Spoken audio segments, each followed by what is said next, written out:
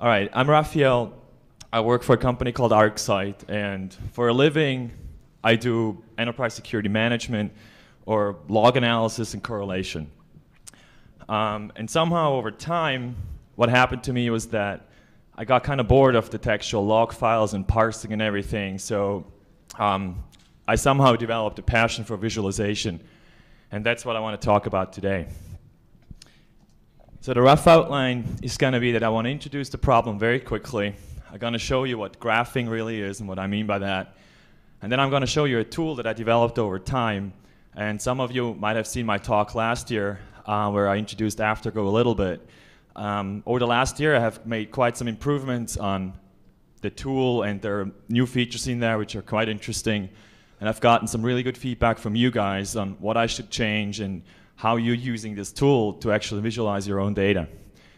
And what I want to do in the end, which is kind of the main part, is I want to go through a firewall log file and show you some of the things you can do with it and how you can visualize it.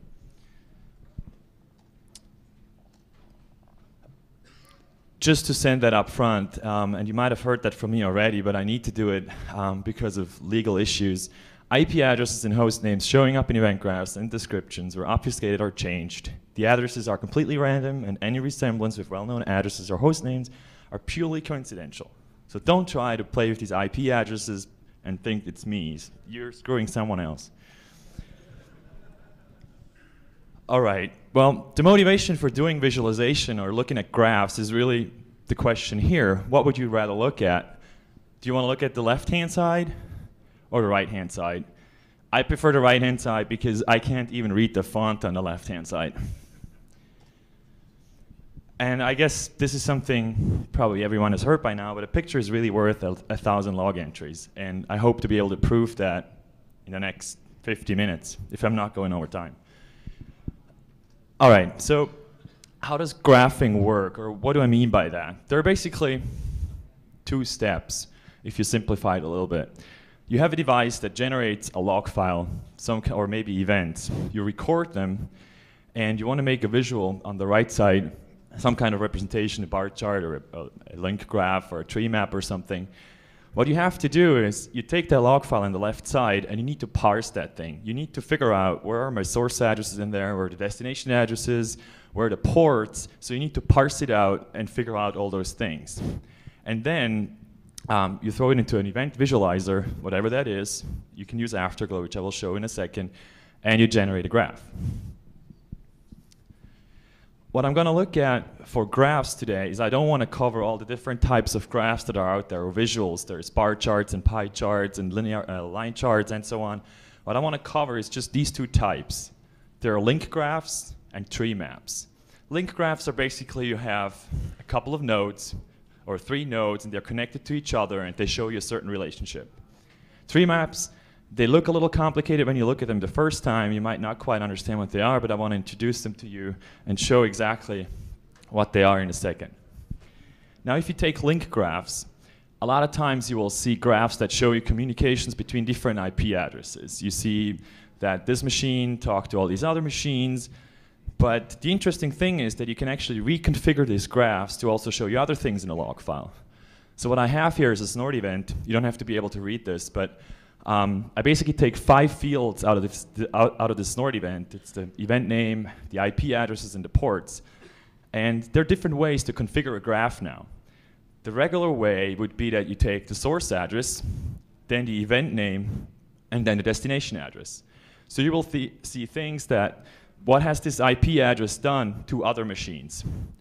However, if you configure this graph a little differently, if you say, well, let's visualize it a way that I have a source address, a destination address, and then the destination ports, you will suddenly see port scans because you see source machine going to some other machine on all kinds of ports. So that you wouldn't see that in the first configuration where you see a, a source IP, a name, and then a destination IP because you're not showing the destination ports. So the point of this slide is really you can configure these graphs all kinds of ways, and depending on the configuration, you will see different things. Now, let's have a look at tree maps. And I'm not sure how many people are familiar with those, but they're really useful um, for a lot of cases.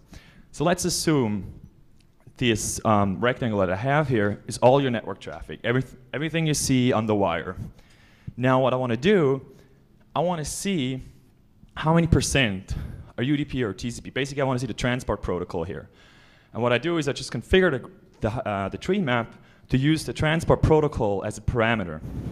So what happens, I have 20% UDP, 80% TCP, and it just partitions it that way. So 20% in the rectangle is UDP here. Now, if I change the configuration to not just be the protocol, the transport protocol, but I also want to see the service.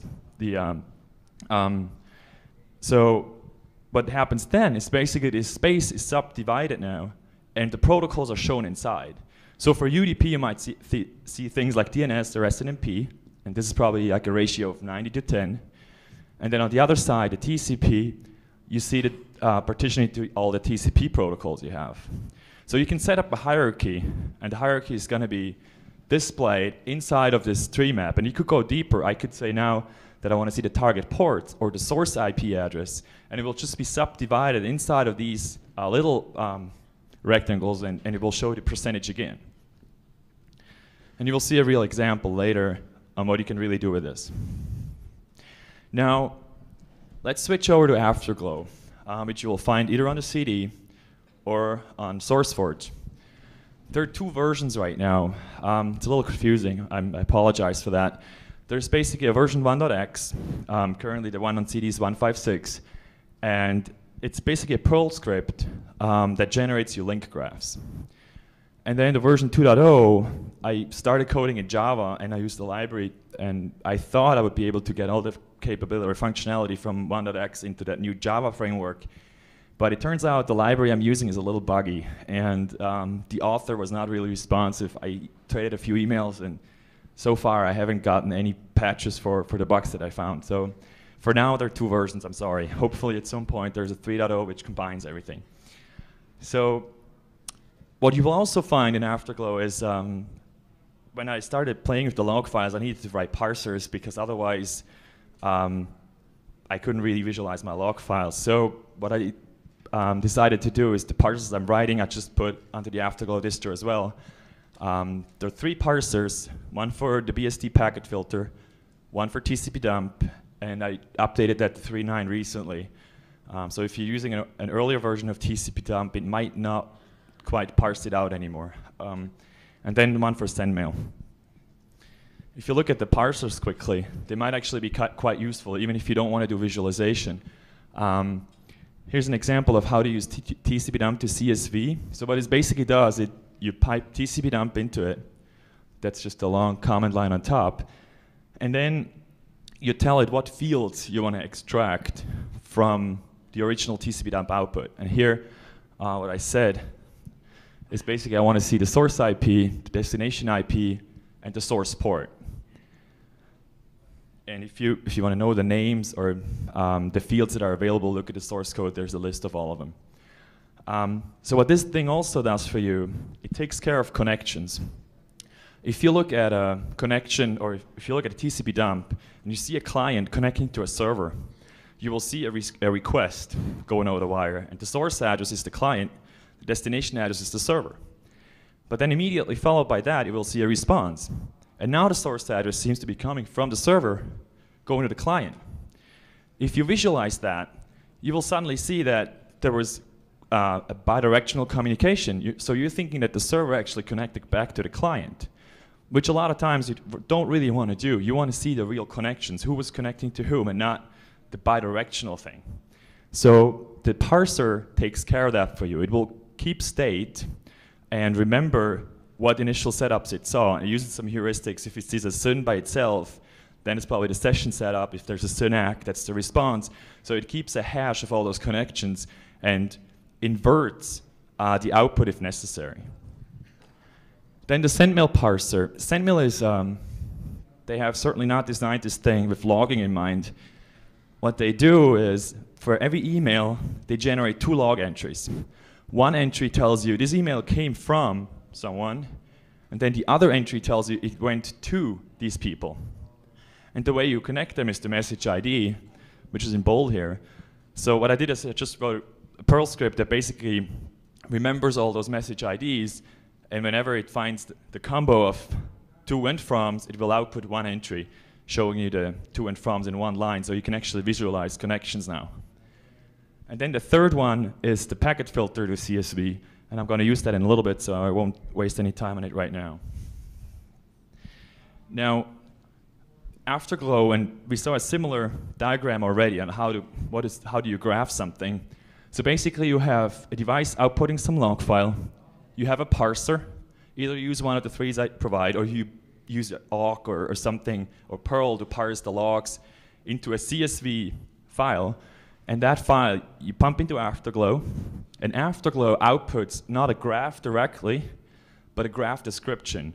So it basically uses the, doc, the dot description from uh, the GraphViz library, and it just says, okay, there, there are these nodes, A, B, C, D, E, and they're connected that way. So you have a node from A to B, one from B to C, and so on.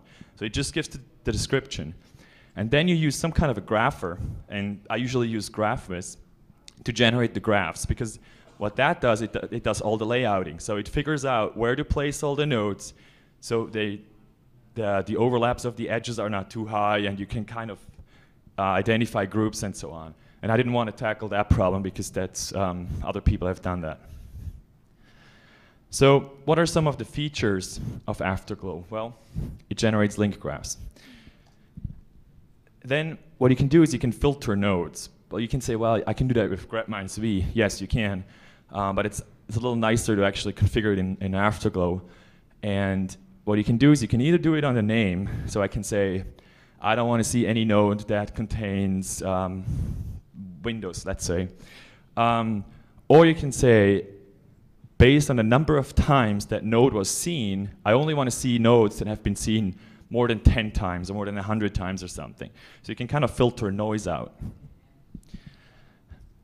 Then you can do fan out filtering. A fan out of a node on the right side there, that blinking node, has a fan out of three. So there are three connections going to other nodes. So you can specify when you draw a graph that you only want to see things that have a fan out of X. So let's say only everything that has more than five connections going out, you want to visualize. And you might already have in your, in your mind what you want to do with this, and it's basically detecting port scans very, very quickly and filtering the noise. And then you can color everything. You can color the edges and the nodes.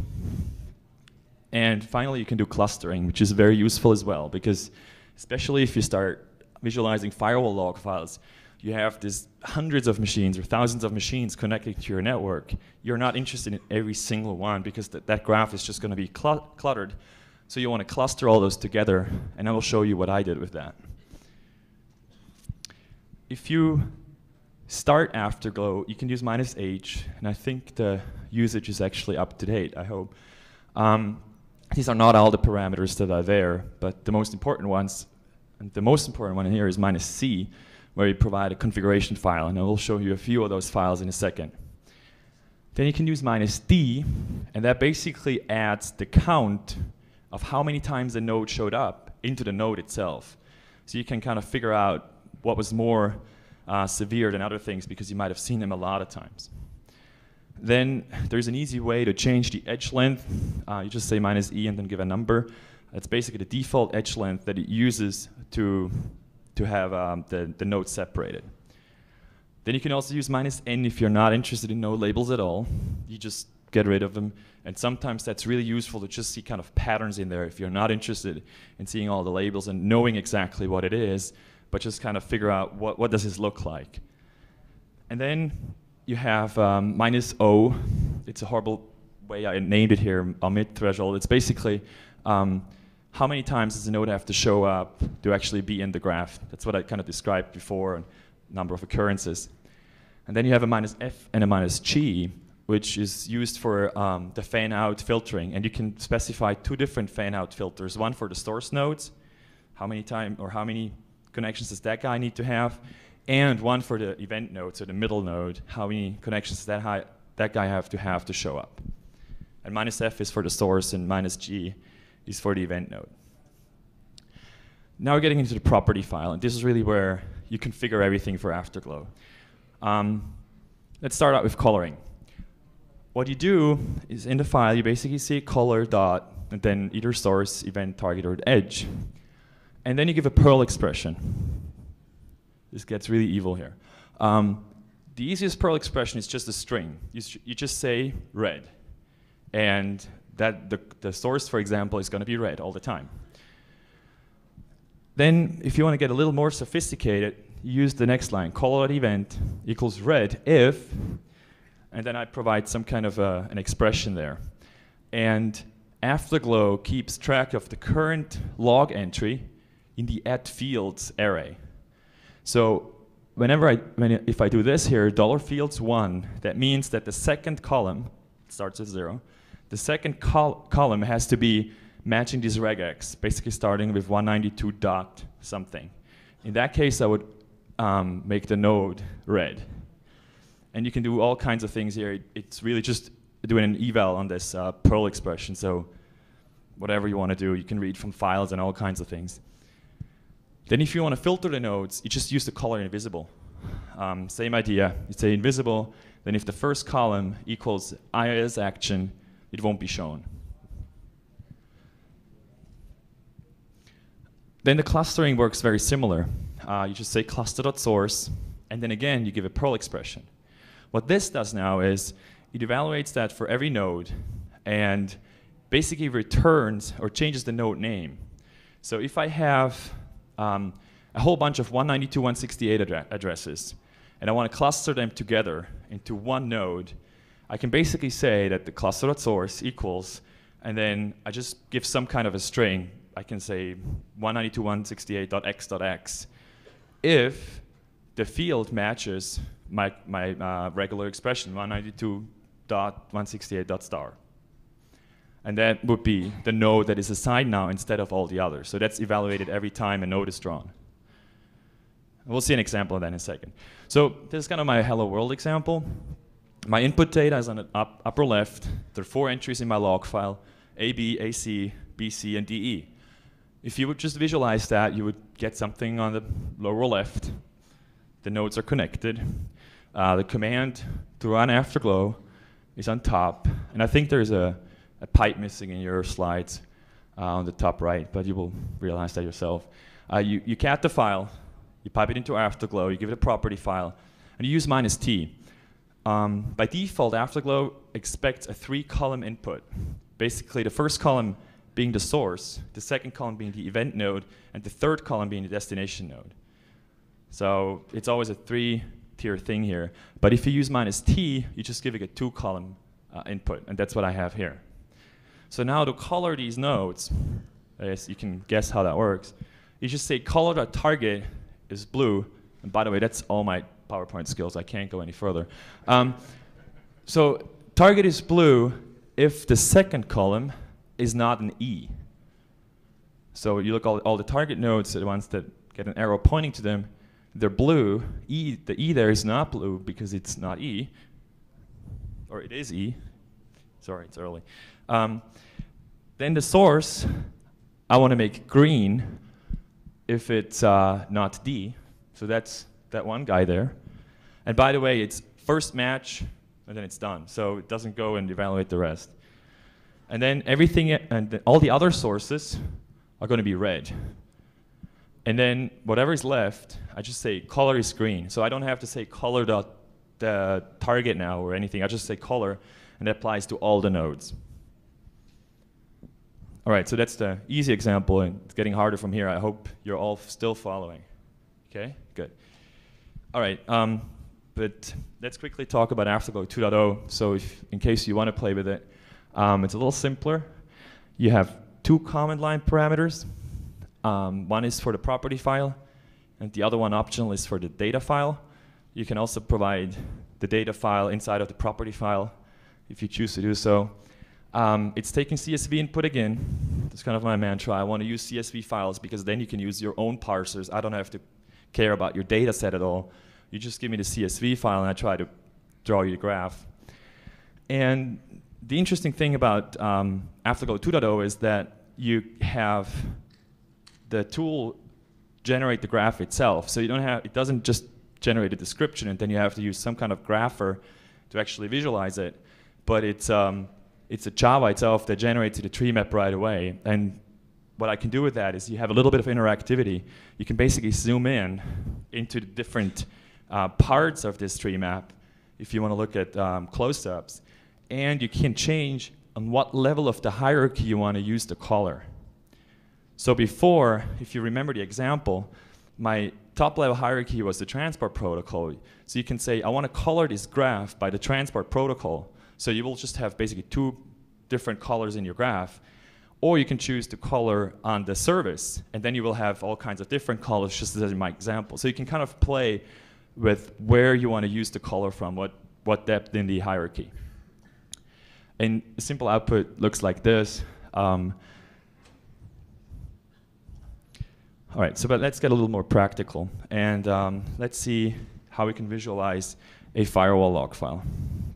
And you got to um, stop me if I'm going too fast here. So if I'm analyzing a firewall log file, there, there are a few steps I want to take. The first step is certainly I need to parse it. The second step I probably want to look at what is coming into my network, what is allowed through the firewall. So I kind of know what is hitting me, so I can probably verify the ACL and figure out whether there are any gap or any holes of things that are coming into my network which shouldn't. Second, I probably want to look what is leaving my network. Everything is allowed to go out, and um, I'm actually quite surprised to see very big corporations in the US still having no outbound ACLs and just letting everything out, which is, I don't know, great security.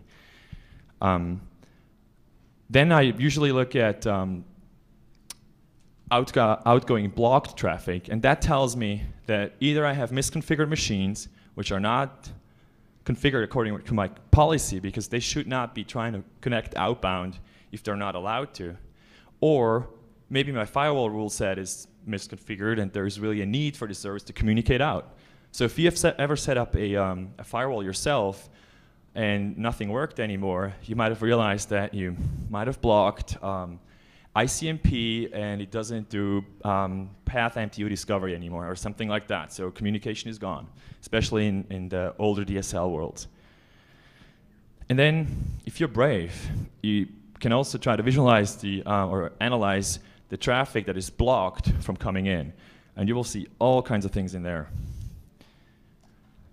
So the parsing part, I have a PF output here, a log file, just two, two lines. Then what you do is you, you cat that, lot, that file, and you use PF to CSV to parse it. And in this case, again, I want to use source IP, destination IP, destination port. And the output is just going to be those three fields delimited by a comma. Now this CSV output is the input for Afterglow. Well, putting it all together, you basically cat the, the log file, pf to CSV, give the, the um, fields you want, pipe that into Afterglow with a property file, and then pipe it into uh, GraphViz.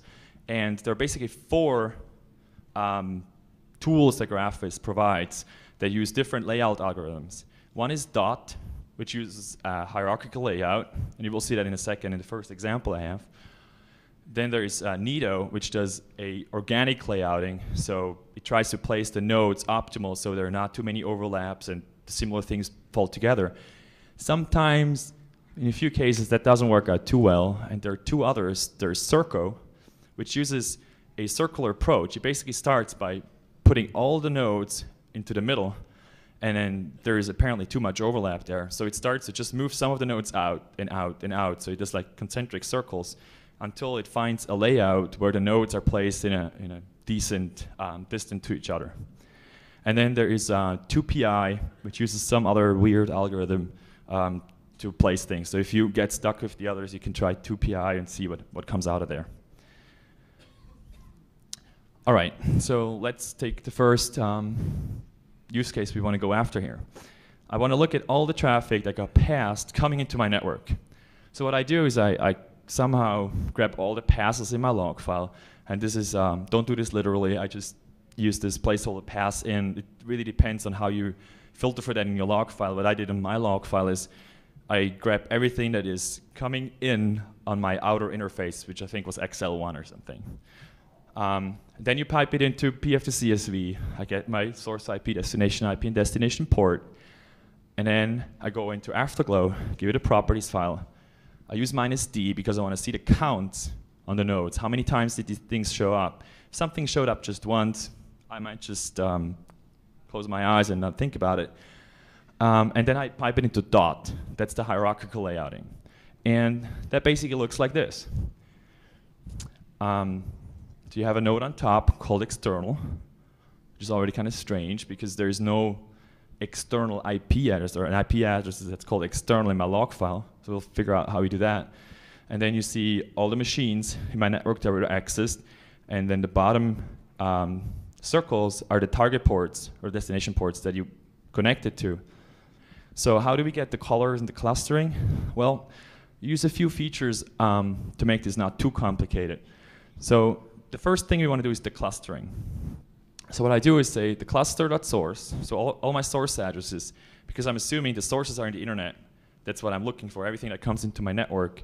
So the source is external, that's the cluster name that I want to give it, if it doesn't match my internal IP range. And match is a function that Afterglow provides you, and it basically, I told you before that there's this add fields array that it um, basically keeps track of the entries in the log file for the current entry that it looks at. The match just looks at all three of them and makes sure that um, none of them matches. And if I mean source, it only looks at the first one. If I just said cluster, it would look at all three of them.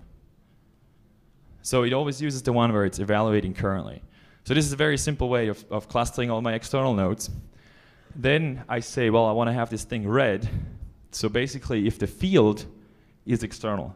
I could also use matches here if I use um, external as a regex, basically. But I chose to use field, which is another function that I have um, that just returns the current field it looks at, and then you can compare that to something. Then the event, so that, that's the dark blue nodes there, I want to have them blue if they match my internal address range. I hope that all my nodes are going to be blue now. However, you see there are a couple of light blue ones in the bottom left. So I just, what I did there is um, I say everything else that's not blue is light blue. And that's actually kind of interesting. Why do I have the light blue ones on the bottom left? Well, if you look a little closer, you see that my machines were connecting out to those guys in the internet, and they're using port 20. And that's an artifact of um, FTP because the way PF to CSV um, parses my file, it doesn't know that there is a back connection out from, um, from FTP. So that still stays in there. But it's kind of nice to see that. So I know that two machines uh, in my network are actually FTPing back out or sending traffic um, data out to the internet. Um, and everything else is just red. And what I see in this graph now, if I look a little closer, I see all kinds of different ports. I see port 25. Yeah, I have a mail server. I have port 22. Yes, I do SSH administration on there. I have some echo requests. Well, hopefully that was me pinging those machines and no one else. I have FTP, I have web, I have uh, HTTPS, I have some DNS, and then I have port 100. And it's actually a log file of mine, and I had that lying around for like two years, and I visualized it, and I'm like, what is port 100? And it showed up only 21 times. And I remembered, yes, that was my backdoor SSH access whenever I updated SSH on port 22, and I didn't quite know how to do that back then, that I don't, if I bounced it, I always locked myself out. So I just had another SSH on port 100. So I could connect in there, bounce the one on 22, update it, and whatever. So that's, I remembered it was all okay. So I was good.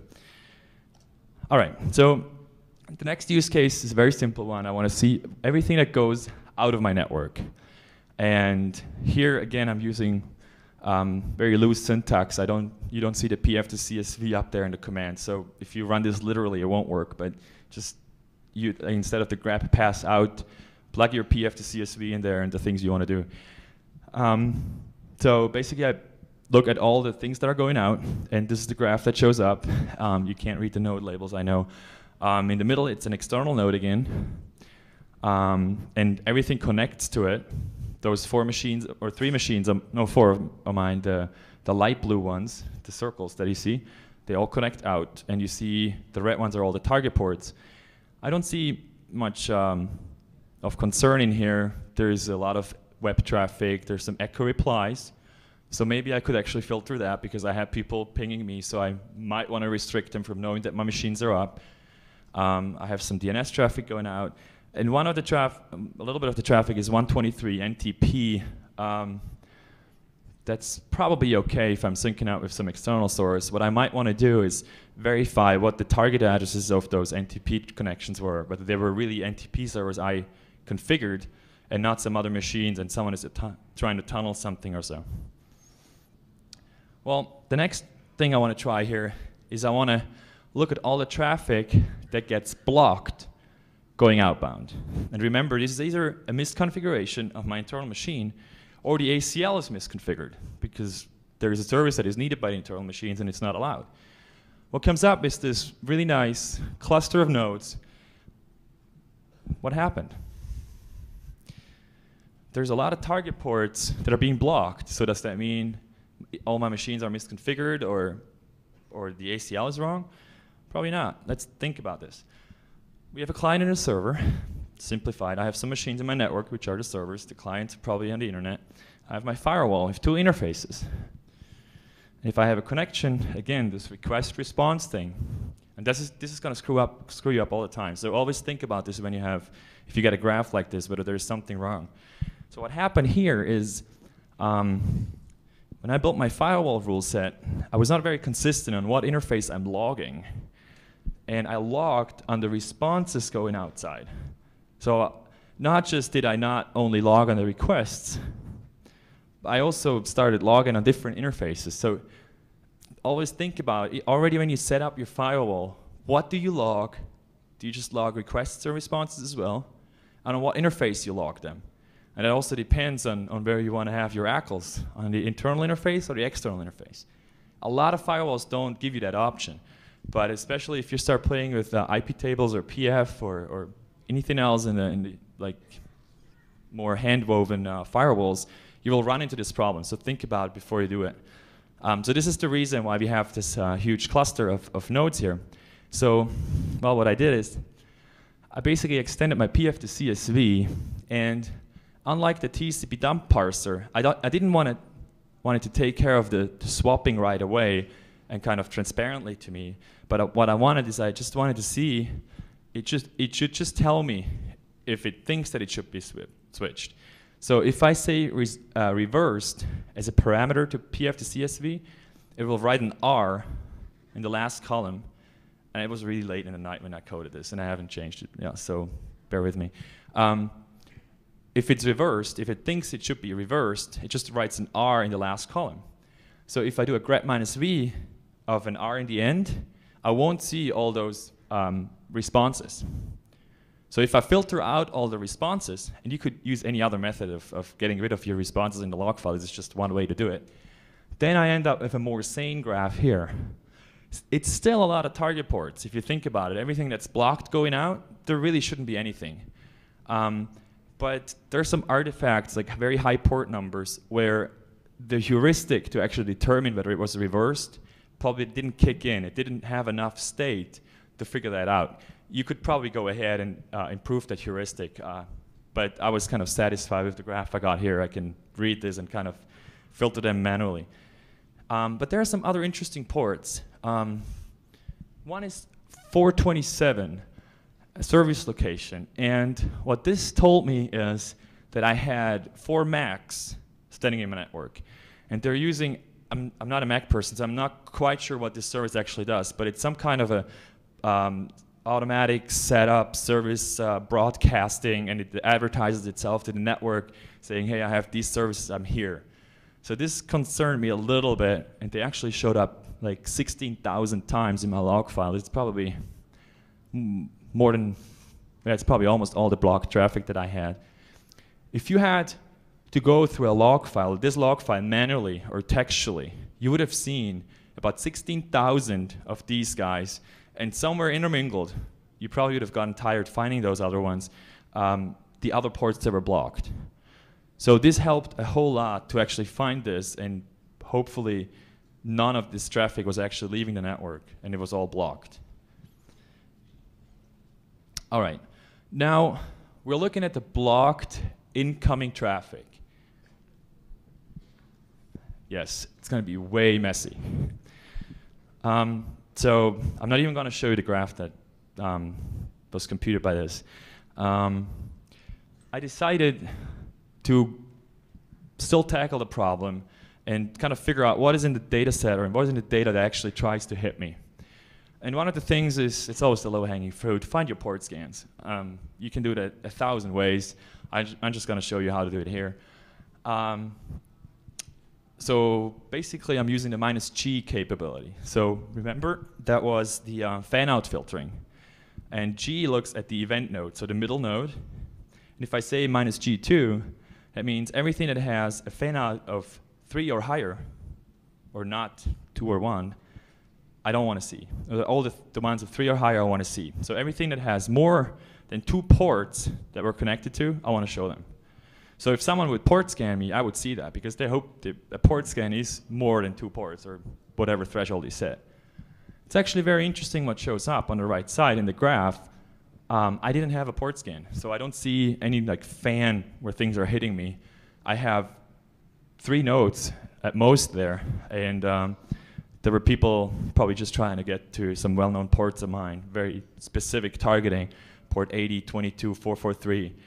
And um, it's only about three or four attackers that really did this. So the, the kind of uh, yellowish nodes that you see. So that's actually kind of interesting. And the data set was probably a couple of days in a very, very busy web server farm. So this is pretty good.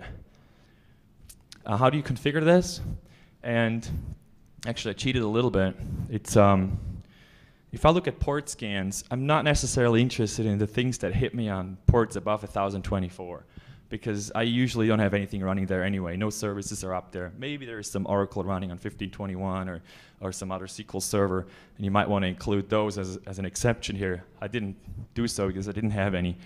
But what I wanted to do is I clustered my target node, the ports, and I wanted to make a cluster for all the ports bigger than 30,000. So it's basically say the node should be bigger 30,000, just that string, if the third column is more than 30,000. And then, so that's taking care of all the ports higher than 30,000. And then I say, well, everything else, if it's bigger than 1024, I want to cluster it again. And then the rest I'll leave alone. I want to see those um, individual ones. And um, again, I used the minus G, and this basically gave me the, the graph on the right. This is kind of how you can find port scans.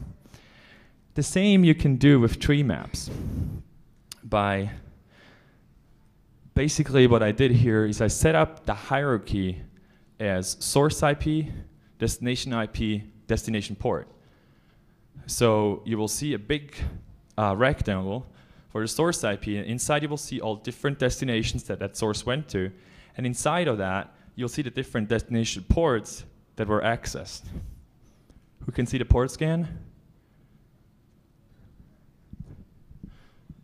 Exactly. It's very easy to find. There's just a lot of nodes there. And um, what you can do is you can actually zoom in. And uh, now I just see this one source IP going to this destination IP, and I see all the destination ports. What is kind of interesting is there are all these random port numbers on the right side, and then on the left, about 50% of the traffic hit a port 6346. I think that's some kind of file sharing. So someone really hit me hard on that port and didn't get in. Um, something else I usually do is uh, I want to see whether there are any IP addresses that are spoofed or abused. And there's um, a bogon address space, basically all the IP addresses that are not assigned to anyone by IANA. So no one should be using them. No one has really allocated that space. That's published on the IANA webpage. And it changes frequently, so make sure if you do this, you update your configuration. But I want to see all the connections coming from those IP addresses to my network because no one should be using those. So um, I, again, I, I just grabbed the blocked incoming. Um, and I warn you right now, this config is going to be crazy. If you thought that it was complicated before, it's going to hit you. Um, so what do you do in the configuration file, first I need to let Afterglow know what is the bogon address space. So there is a command called variable and then you just provide any Perl expression you want, any Perl command, and we'll just evaluate it. And if you assign, what I did here is I, I built my array ranges with all the subnets that are in the Bogon address space. You could put anything in there, any Perl code. It would evaluate it. It would, it assign the variables and, and keep them, and you can use them in, in further assignments and do all kinds of things. So this is just, I'm just defining a variable here, or an array. Then, for my color assignment, it gets a little complicated. So basically what I want to do is every value I get, I want to check, every IP address, I want to check against the array and see whether it's in any of, this, of those subnets specified. And you basically start with um, the subnet assignment here. So you check if the field is in the subnet that we're looking at right now. So it basically runs through all the um, entries in the array, and the array range is up here. So it goes through all these entries and checks whether the field that I'm looking at right now is in this subnet. If yes, it just returns one, and I'm basically counting in, in dollar value how many times, or in how many of those it was. It, it's always going to be one, because my, my definition there is mutually exclusive of the in, in individual entries. Anyways, so what it does then, it just says it's going to be red, the node, if it actually found it. So if value is set. So if you don't quite follow how this map thing works, uh, just copy it and use it for your own um, things. And then what I want to do is I want to have everything else green. If it's not in my, or everything else that is in my internal network is green. So I provide the match on my internal address space, and everything else is blue. We'll see in a second how that looks.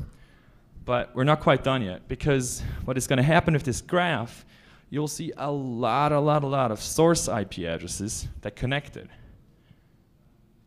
There's going to be a million individual nodes, so you won't be able to find those red ones that we just defined.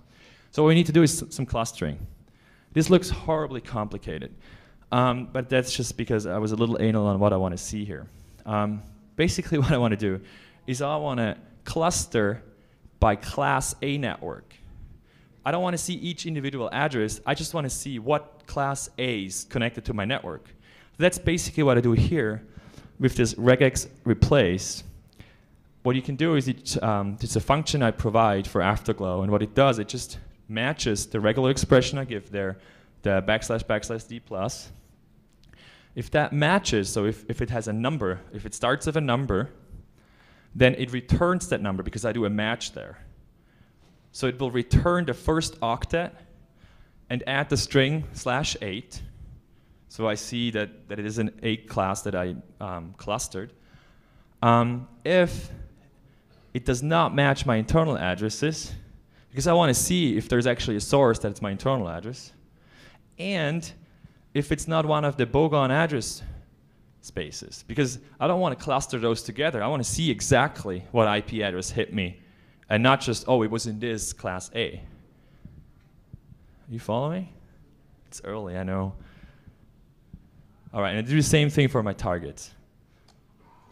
Um, just for your own reference, these are the new features we just introduced, and this is how it looks. Uh, it's actually quite sane. So you will see the, the Bogon address space is the red ones. Then you have the regular external addresses clustered by A class.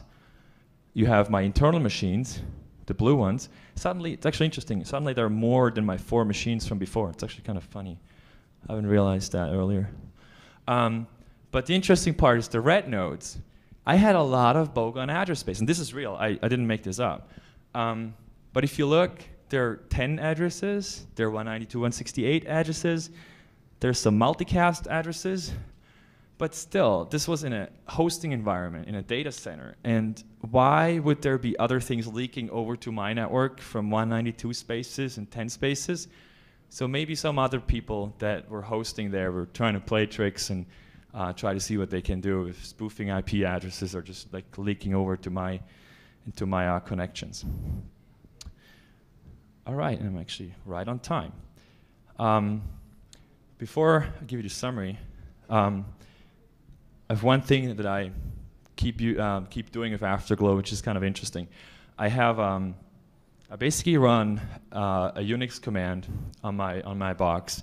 It's just a while loop, and you you find the command on if you go to afterglow.sourceforge.net um, in the FAQ. I have a little command line. So basically, what I want to do is I want to show the network traffic in my screensaver. It's quite cool if people walk by your desk and they see the traffic that's on your box. Uh, some people might start playing with you and sending you traffic so they show up in the notes, but um, so don't encourage them. But so basically, what you do is you run a while loop, continuous, just never stop.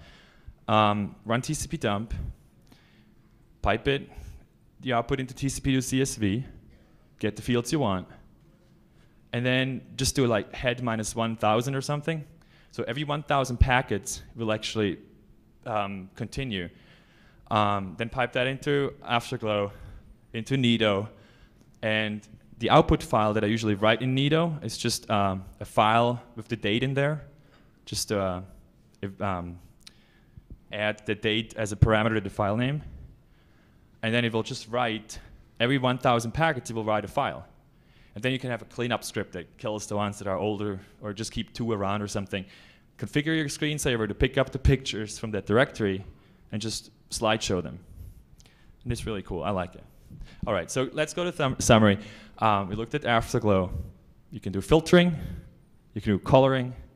You can do clustering if you get brave.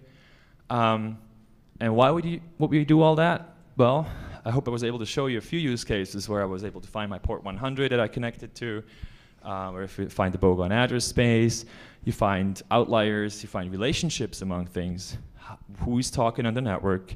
Um, and I know people in here that use Afterglow to find people that are connecting from countries of concern, things of that nature.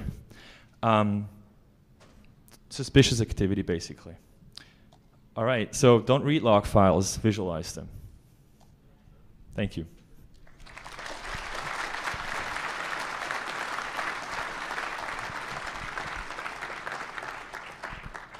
I think I have time for a couple questions if anyone. Yes?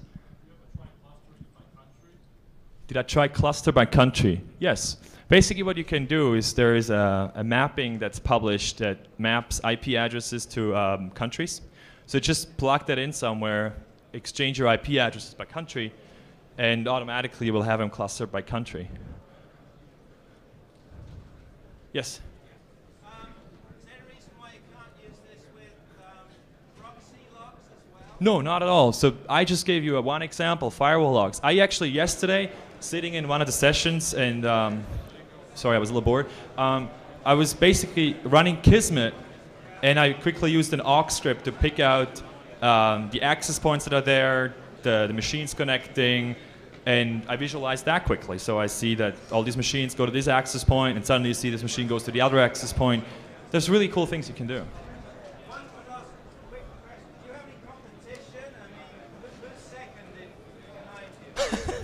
Do I have any competition? Lots. Uh, there are a few people. Greg Conti does some visualization with RUMINT. Um, there's a lot of university work that's done on visualization of uh, network traffic. I'm not sure if anyone has, has a very simple method of, of visualizing just open source. Um, if, if you have any, let me know.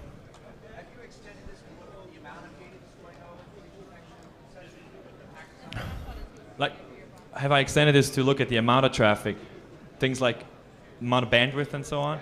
So basically, what you have to do, you have to do that yourself. So I kind of offload that work to you, because I just visualize your CSVs, right? So you just write some kind of an aggregator that um, aggregates all the traffic. Use awk and do sums in there. It's not too complicated. Oh, all right. So questions, please go to the mic to they're recorded. Thank you. Can you weight, weight the size of the nodes by uh, the number of packets from them? Can I weigh them? Um, can you make them larger if there's a lot more? Oh, traffic? can I make it larger? No, I didn't put that in. Um, it shouldn't be too complicated to extend Afterglow if you want to do that. Um, would take me a little bit of coding. Um, download it and extend it if you want. I might do it. It's actually a good idea. Thanks. How about parsing uh, server logs? Um, parsing server, any kind of server logs? Yeah, any kind. Sure. Um, you can for example, Linux, you use syslog. It's a pain to write your parser because every line is different. Every entry has a different format. But you can visualize logins, for example. You just pick all your SSH messages or all your login messages. Um, pick the source address. Where did it come from? If it's locked, it's not always the case in server logs. Um, lock the, the username that's coming come in. You can do all kinds of things really. This is this is giving you the, the toolbox to go off and do your own visualization of your logs. And please send me use cases if you have them. I'm collecting them. Um, server logs are very interesting in, in cases where you're not trying to go after the perimeter threat where things are coming out from the outside, but if you're looking more from insider problems, so people that are logging into machines they might not be allowed to, who accessed machines for, like, if you do need compliance reporting or something, who got into my um, financial servers, what networks did they come from, things of that nature. Anyone else? Are you trying to make it real time or Great question. Um, I was trying, yes. the real time problem is that's kind of why I started to switch over to that library I'm using for Java um, because I wanted to have more control. The way I set up Afterglow right now is that it basically takes the, the log file the CSV file and, and generates one graph. Um, so I kind of lose state. The problem is, I mean, you can you can do what I told you about the TCP dump, the, the while loop, and then just get one picture after the other. The problem with that is every picture you calculate is gonna rearrange all the nodes because of the layouting. So what you have to do is you have to remember, you, you kind of do a sliding window. You remember the current layout, you feed that into the next layout, and you just add the new ones and then drop off things as over time to get rid of them. It's not as easy as it sounds, or maybe it already sounds complicated, but I was trying for a little bit. I just don't have the time to do it right now. But there are, I think Dan Kaminsky uh, with Xovi does something um, of that nature. He's, he tries to animate it. Um, you can try to download that. Um, it's slightly different what he does there. Okay. Thank you. All right, I think What kind of limitations do you have on log file sizes? your box Okay. and Afterglow's memory.